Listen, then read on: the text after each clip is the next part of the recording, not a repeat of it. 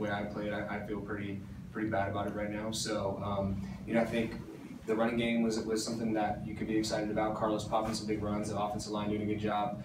Um, you know, but for me, I'm looking at myself right now, what I can do better to, to help this team win. Um, I don't know, surprised. I think just disappointed. You know what I mean? Um, we, we did. You know, we felt good about coming into the season, and and uh, the first two games haven't gone the way we'd like them to, especially the way you know I'd like them to, as far as my personal play. So, you know, I got to look at look at the tape and figure out what I can do a whole lot better. And, and it's a quick turnaround. We have to be ready for the Rams on Thursday night.